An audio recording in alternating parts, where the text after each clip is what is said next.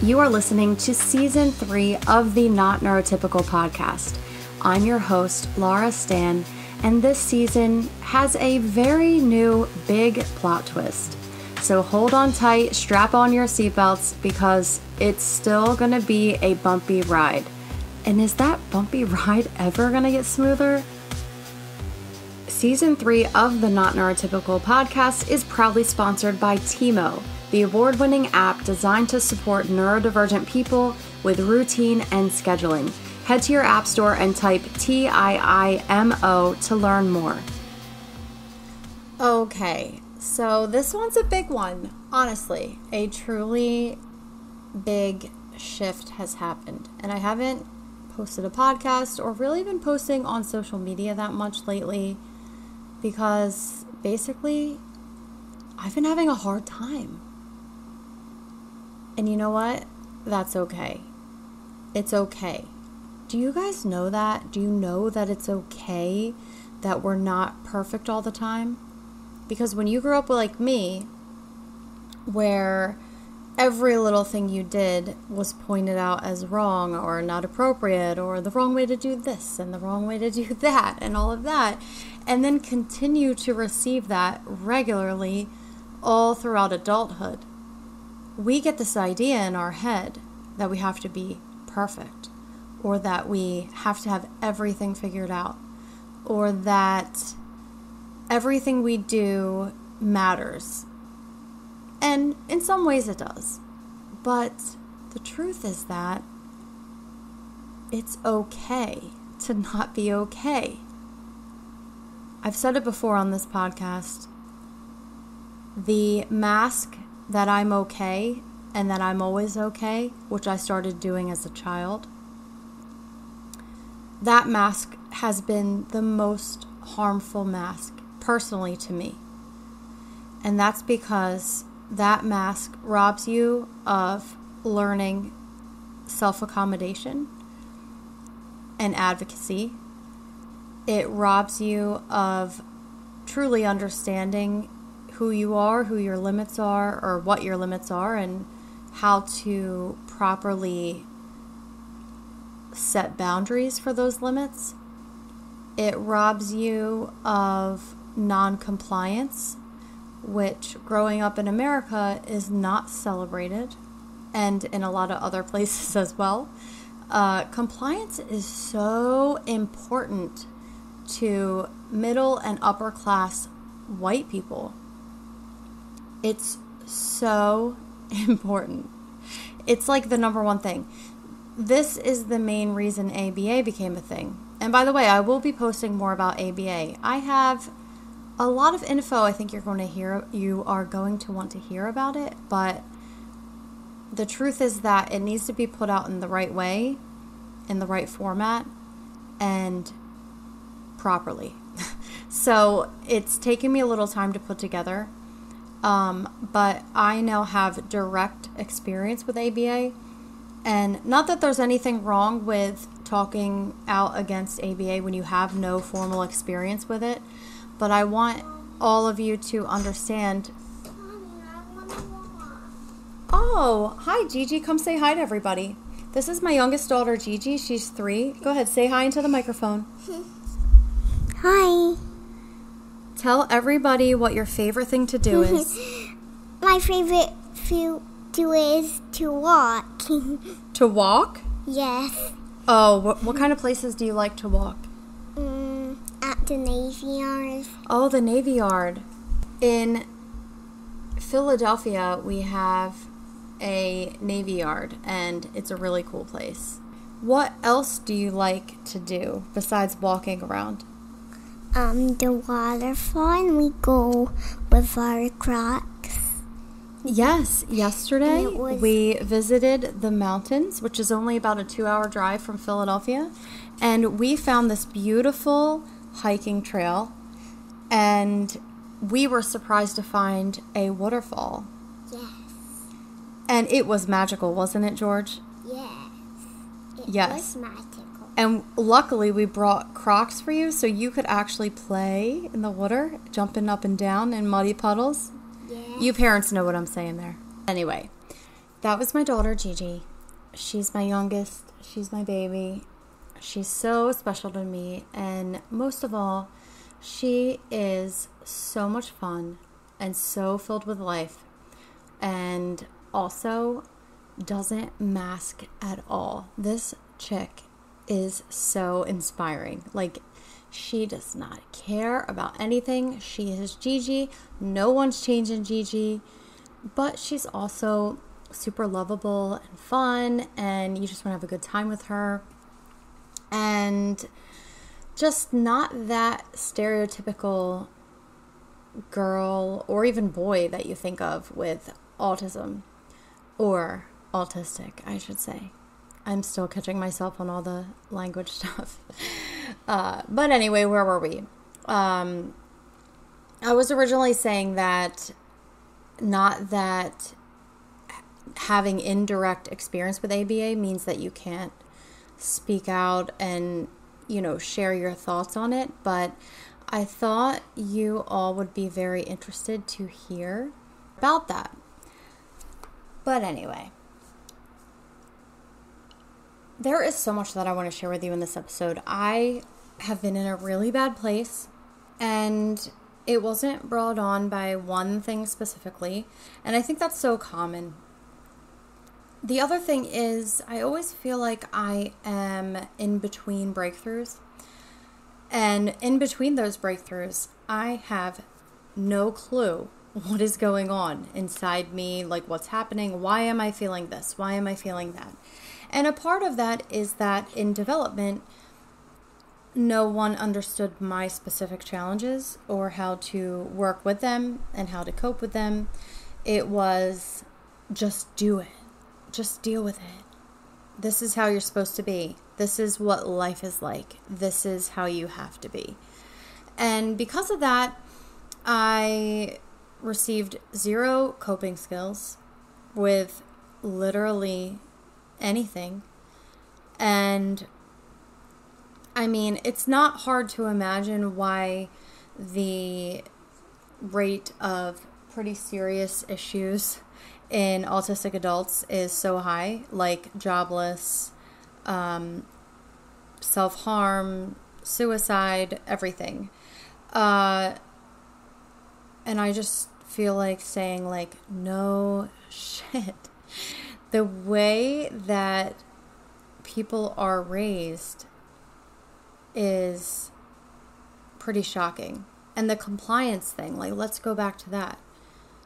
Compliance is pretty much the number one important thing that kids learn in school. It is, this is how it is, this is how it's going to be. You deal with that. This is how jobs are. There's very few, I think some companies are coming around but there's very few jobs that are like, we really appreciate your creativity and output. So do whatever you want. And as long as we're happy, we're good. uh, and this is for a lot of things. Human nature naturally, of all neurotypes, takes advantage of that. Um, but it also comes from deep, dark history, human history. And I'm not going to go too far into that. And if you have any sort of imagination or historical knowledge, it's probably not too far of a stretch for you to put that together. But I say this all the time. If you follow me on Instagram, I hate saying that. I really hate Instagram. Am I allowed to say that? If you follow me on there, I'm really appreciative of it appreciative of it. I cannot talk. But like I said last episode, well, actually, you know what? Here's the thing. I've probably recorded like five episodes that I haven't released within the past couple months. And it's because I was just in that bad place and I'm so confused. And um, I don't know. Sometimes I just don't throw everything out there until I kind of understand it. I guess like I don't want to put it out there until I really understand it, but um I recently recorded something and you might have heard it and you may not have. I don't even know. Uh, I recently recorded that Instagram is like pushing me towards burnout. Like social media in general. It's just like I feel close to a burnout. I feel better now than I did when I recorded that. And what helped me was distancing myself, truly. But over the course of the last couple months, I uncovered the most beautiful concept. And it's not a new concept by any means, but I am so passionate about it because I think it is so important. So, so, so important. And that is unlearning neurotypical. And what that means for me is basically we have been taught compliance. Not just taught, we've been forced compliance. Compliance has been necessary for safety, for one version of success in a lot of cases, not for every case, and for school, and so many other things. And the kids who are non compliant I want to point out kids and people who are non compliant are either outcasted from society or they change it. They change everything. Um, compliance is not creative, it is not groundbreaking, and it never will be. It is not any type of special or new or anything it is telling everyone what their place is and people falling in line. And in general, that is just not who we are. And I think compliance is a really scary thing that we prioritize in our society. And I mean, you can just look at different cultures that have different values than the white compliance narrative that is so important. And the narrative has been that they're just like no good. If the culture does not fit perfectly into that compliance, it's that it's bad, which is such a load of crap. And it's so false. And that right there is a huge logical fallacy that people just eat up. Like, oh, they're different, so they must be bad. uh, and with all of the talks going on now of looking at different things like like compliance and how it affects us, how it affects people of different intersections within neurodiversity and everything, it's so apparent that what we've been taught is not accurate. What we've been taught to be, how to act, what we should do, how we need to be in every little situation is not right for our brains because we were taught neurotypical. And what do you do when what you've been taught is no longer useful to you? You unlearn it.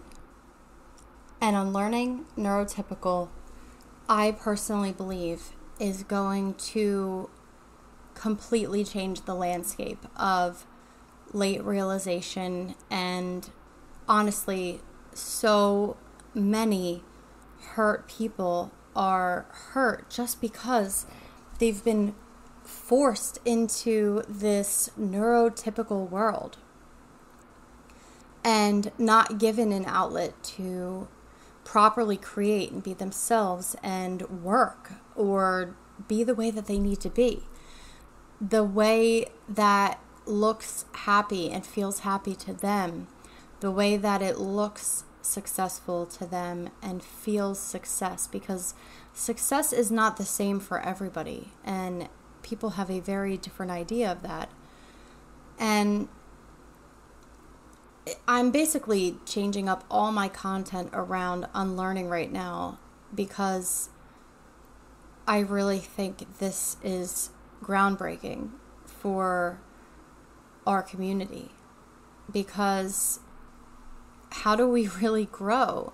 How are we going to grow? Like when you realize that you have ADHD or you're autistic or whatever your type of neurotype that you figure out, like, what are you supposed to do?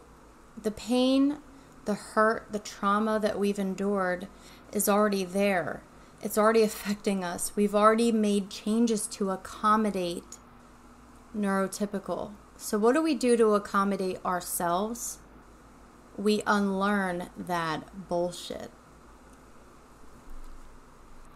And while we all come from very different backgrounds and different lived experiences, there's really one fact that unites all of us, and that's that we live in a neurotypical world. The neurotypicals have decided what all of our experiences are going to be like and what they mean. And we are forced into that, and we're just kind of stuck until we mindfully get ourselves out of that box. And right now, data shows that basically three out of four people are neurotypical in the world. I think it's higher.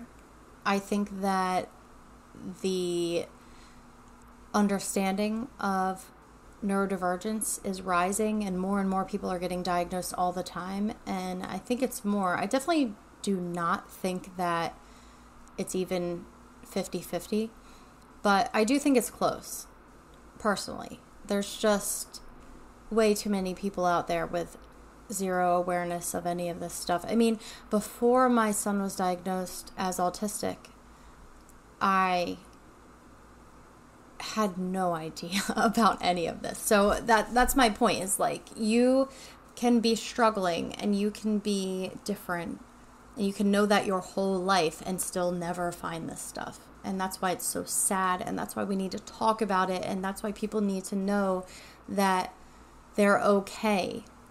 That them struggling under ridiculous benchmarks that have been set for them personally that do not match who they are doesn't mean that they're defective or bad or anything like that.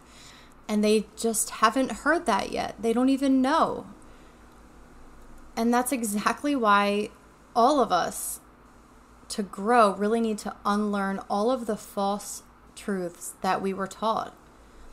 And unlearning neurotypical gives us that fresh start it helps us begin to nurture our inner child. The inner child that was so misunderstood.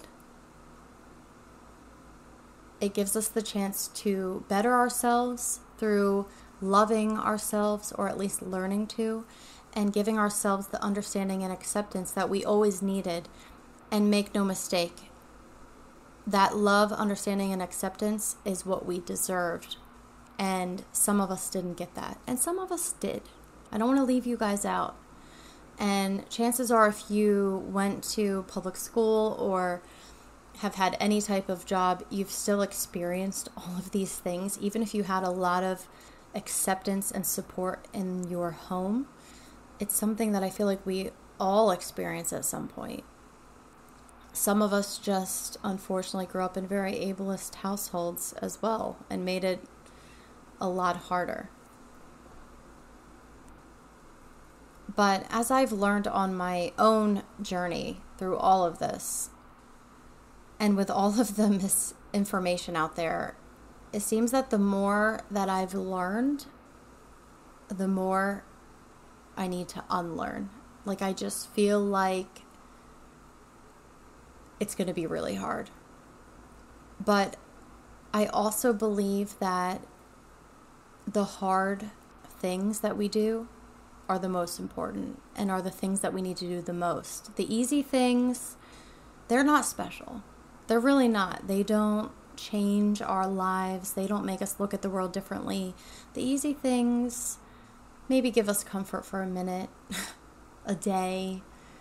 This one's going to be hard, but I just feel like it's going to be the most rewarding thing or journey I've ever been on. But where does it end? I don't know. I started new Patreon content all around unlearning and I'm so p- passionate about it, and I've gotten really good responses from my patrons so far. And if you're into it, visit patreon.com slash unlearning neurotypical. You can sign up for as little as $3 a month and see all of the unlearning content. And obviously your support means so much to me. So if you would go take a look at that, patreon.com slash unlearning neurotypical, I would really appreciate it. But where does it end? I don't know. I am currently reevaluating everything.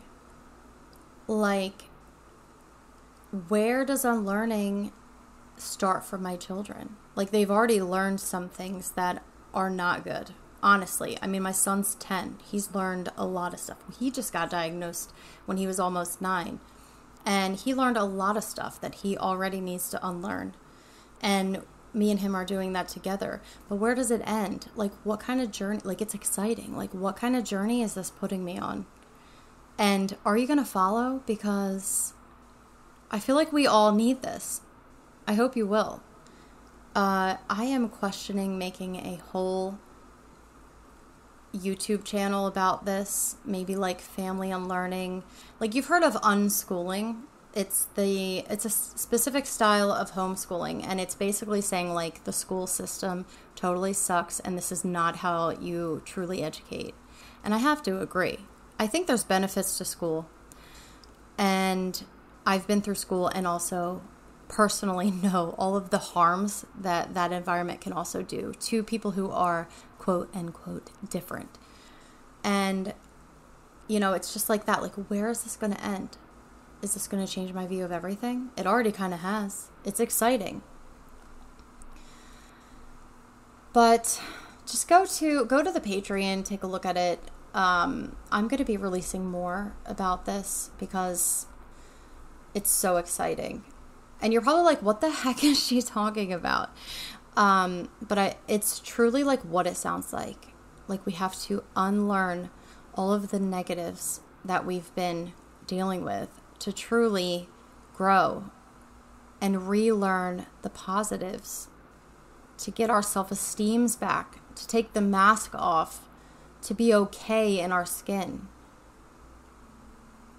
Because I'm not perfect, and I am so sick of struggling. And I finally feel like I kind of have a piece of this giant puzzle of how I'm gonna like put my life together.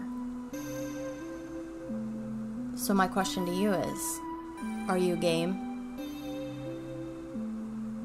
We'll see.